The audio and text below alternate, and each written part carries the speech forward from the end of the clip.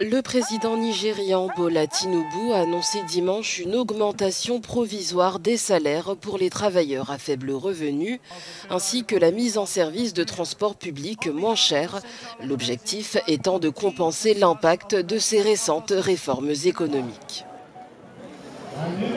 Ces annonces interviennent deux jours avant que le Nigerian Labour Congress et le Trade Union Congress, les deux principaux syndicats du pays, n'entament une grève illimitée.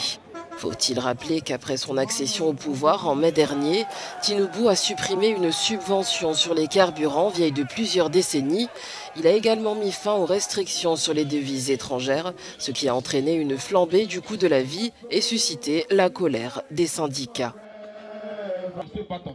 Samedi, lors d'une émission marquant le 63e anniversaire de l'indépendance du Nigeria, le président Tinubu, qui a promis d'attirer davantage d'investissements dans le pays, a déclaré que le salaire minimum pour les travailleurs les moins qualifiés augmenterait d'environ 32 dollars au cours des six prochains mois.